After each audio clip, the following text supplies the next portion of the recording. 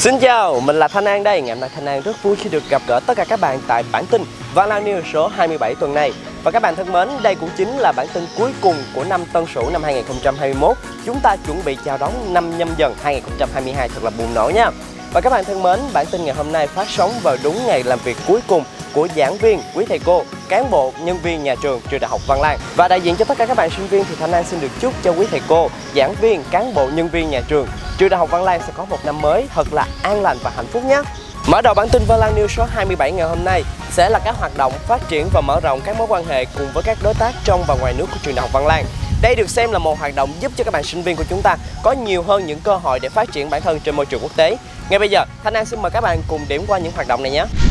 Sáng ngày 18 tháng 1 năm 2022, Khoa Du lịch Trường Đại học Văn Lang tổ chức buổi lễ đón tiếp Tổng lãnh sự quán Cộng hòa Ấn Độ, Thạc sĩ Madan Mohan Sethi. Buổi lễ có sự tham gia của ban lãnh đạo Trường Đại học Văn Lang, Khoa Du lịch, Khoa Công nghệ Thông tin, Khoa Nghệ thuật ứng dụng, Khoa Sân khấu Điện ảnh. Tại buổi lễ, Trường Đại học Văn Lang đã đề nghị hợp tác với các trường đại học cũng như các trung tâm nghiên cứu tại Ấn Độ. Đây cũng là cơ hội giúp sinh viên trường được đa dạng trải nghiệm và phát triển bản thân toàn diện. Tuần qua, Trường Đại học Văn Lang đẩy mạnh các hoạt động hợp tác với các trường đại học, doanh nghiệp trong và ngoài nước, mở ra nhiều cơ hội cho sinh viên Văn Lang. Mở đầu chuỗi ký kết, Trường Đại học Văn Lang ký kết biên bản thỏa thuận hợp tác MOU cùng công ty cổ phần phát triển giáo dục quốc tế Gaia vào ngày 17 tháng 1 năm 2022. Hai đơn vị hợp tác trong nhiều hạng mục như tổ chức dự án định hướng nghề nghiệp, mở ra cơ hội kiến tập, thực tập, cơ hội việc làm cho sinh viên Văn Lang và nhiều hạng mục khác. Sáng ngày 20 tháng 1, Khoa Thương mại Trường Đại học Văn Lang và công ty cổ phần công nghệ Atalink đã có cuộc gặp gỡ để cùng thảo luận và ký kết biên bản MOU. Với hệ sinh thái kết nối hàng nghìn doanh nghiệp của Atalink sẽ mở rộng cơ hội thực tập cho sinh viên các ngành của khoa thương mại. Việc ký kết giữa hai đơn vị trên tinh thần phát triển vì lợi ích chung, đồng thời củng cố mối quan hệ bền chặt giữa doanh nghiệp với khoa thương mại trường Đại học Văn Lang, nâng cao chất lượng đào tạo và phát triển nguồn nhân lực đầu ra ngày càng tiến bộ. Ngày 18 tháng 1, Trường Đại học Văn Lang ký kết thỏa thuận hợp tác MOU với Trường Đại học Biên Trung Đài Loan. Hai đơn vị thống nhất các nội dung hợp tác gồm trao đổi học thuật, trao đổi sinh viên, liên kết thực hiện các nghiên cứu và hoạt động giáo dục.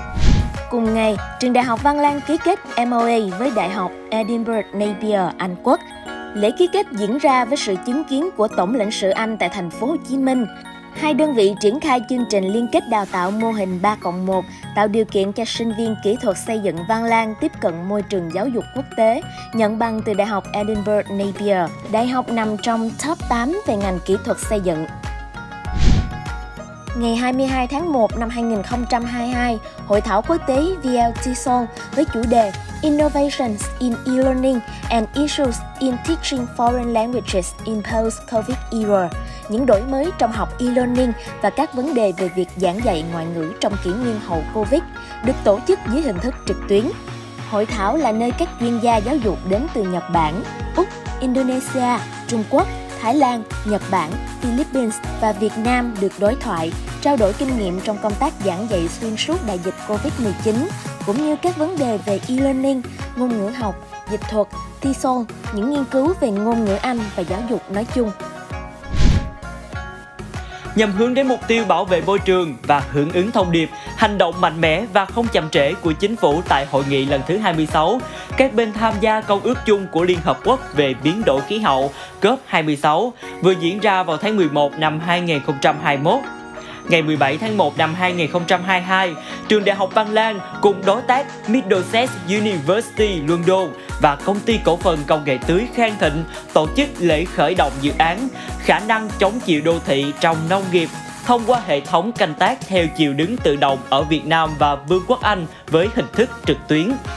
Sự kiện kết nối ba đơn vị với đại diện British Council, Hội đồng Anh tại Việt Nam. Đơn vị tài trợ chính cho dự án Bên cạnh sự hợp lực về nhân lực và tài chính, dự án nhận được sự ủng hộ và Hội đồng Anh nâng tổng nguồn quỹ cho dự án lên đến 62.954 bảng Anh. Theo kế hoạch, dự án sẽ được triển khai trong 27 tháng, được đầu tư áp dụng công nghệ IoT hiện đại và gắn với các hoạt động có sự tham gia của học sinh sinh viên Việt Nam. Chúc dự án sẽ triển khai thuận lợi và sớm thu về những kết quả tích cực cho cộng đồng. Trong những ngày cuối cùng của năm Tân Sửu năm 2021 thì các hoạt động của giảng viên đến các bạn sinh viên trường Đại học Văn Lang diễn ra vô cùng sôi động. Chúng ta có thể kể đến các chương trình thiện nguyện nè, chương trình đào tạo hay là các cuộc thi của các bạn sinh viên.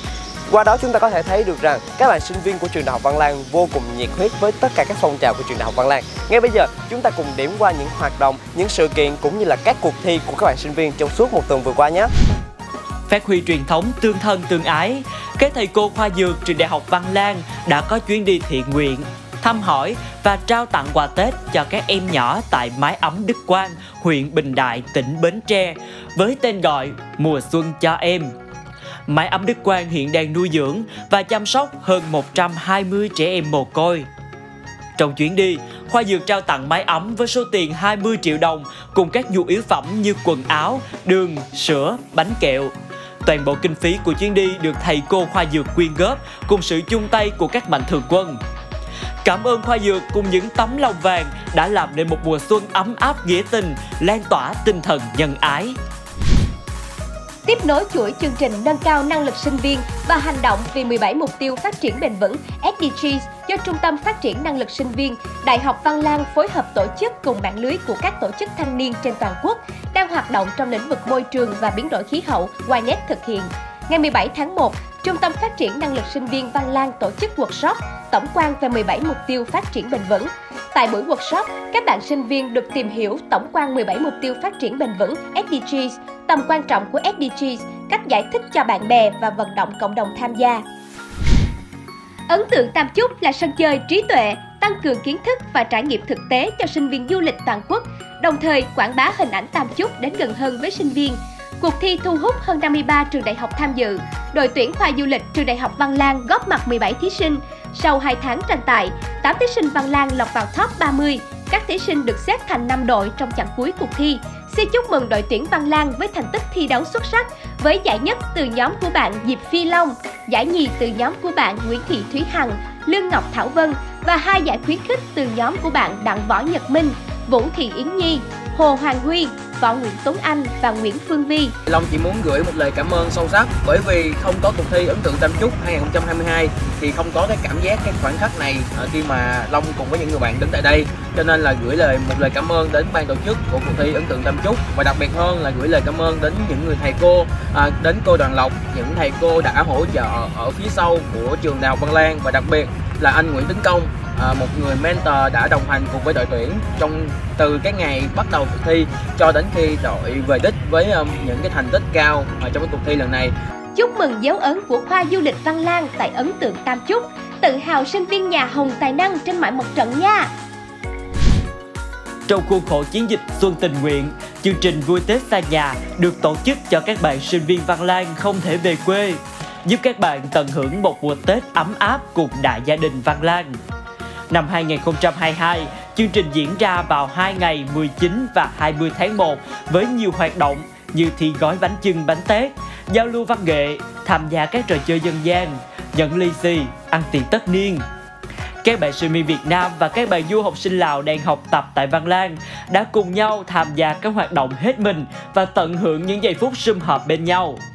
Hy vọng với sự tạo điều kiện của nhà trường và sự chu đáo của ban chỉ huy chiến dịch Xuân Tình Nguyện năm 2022, các bạn sẽ cảm thấy mùa xuân năm nay thêm phần đặc biệt và ý nghĩa. Ngày 23 tháng 1, Ban chấp hành Công đoàn Trường Đại học Văn Lang đã tổ chức hội thi làm bánh chưng, bánh tét mừng xuân nhâm dần 2022. Trong không khí nhộn nhịp vui tươi của những ngày giáp Tết, hội thi có 130 cán bộ, giảng viên, nhân viên tham gia dự thi và nhiều thầy cô khác cùng các bạn sinh viên đến tham gia cổ vũ. Đặc biệt, hội thi có sự góp mặt của nghệ nhân bánh Trần Thị Hiền Minh với vai trò là thành viên ban giám khảo. Sau hơn 70 phút tranh tài sôi nổi, các đội thi đã hoàn thành 3 cặp bánh chưng, bánh tét và trình bày bắt mắt khiến ban giám khảo vô cùng ấn tượng. Đây là hoạt động thường niên do công đoàn trường tổ chức, là cơ hội để đại gia đình Văn Lang quay quần cuối năm đón chào những ngày Tết cổ truyền đang gần kề.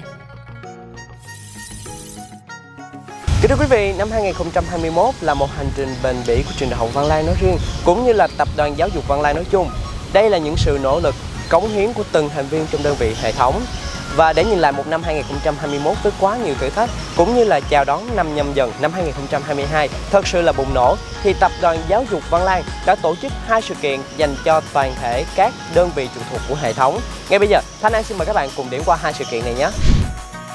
Ngày 22 tháng 1 năm 2022, Town Hall Meeting 2021 với chủ đề Hành trình bền bỉ, thích ứng, tận tâm, bứt phá được tổ chức tại hội trường Trịnh Công Sơn, cơ sở chính trường Đại học Văn Lang. Chương trình có sự tham gia của các đại biểu, cán bộ, giảng viên, nhân viên đến từ 8 đơn vị thành viên trực thuộc Tập đoàn Giáo dục Văn Lang. Tại chương trình, Tập đoàn Giáo dục Văn Lang đã vinh danh các cá nhân, tập thể có thành tích hoàn thành xuất sắc nhiệm vụ, đóng góp đột phá trong năm 2021. Năm 2022, Tập đoàn Giáo dục Văn Lang tự tin bước tiếp những chặng đường mới, nâng tầm khát vọng về một hệ sinh thái giáo dục Văn Lang tiên phong, đột phá và truyền cảm hứng cho xã hội. Với chủ đề Hành trình bền bỉ, thích ứng, tận tâm, bứt phá, các thành viên trực thuộc Tập đoàn Giáo dục Văn Lang sum họp sau một năm thích ứng nhanh chóng, đồng lòng, tận tâm đưa Văn Lang tiến xa với những bước phá đáng ngưỡng mộ trong năm 2021. Năm 2021 là một hành trình bền bỉ của Tập đoàn Giáo dục Văn Lang.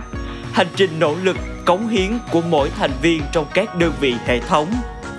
Xin chúc mừng Tập đoàn Giáo dục Văn Lang Chúc cho chặng đường phía trước năm 2022 của Văn Lan sẽ luôn tràn đầy niềm vui và hạnh phúc. Những hình ảnh của Diêm Bạc Thi vừa rồi cũng đã chính thức khép lại bản tin Văn Lan News cuối cùng của năm Tân Sửu năm 2021 rồi. Chuẩn bị đón một năm mới thì Thanh An xin chúc cho đại gia đình Văn Lan của chúng ta thật là nhiều sức khỏe, niềm vui và đặc biệt là nhận được rất nhiều lì xì nha. Còn bây giờ thì Thanh An xin chào và hẹn gặp lại các bạn tại bản tin Văn Lan News số 28.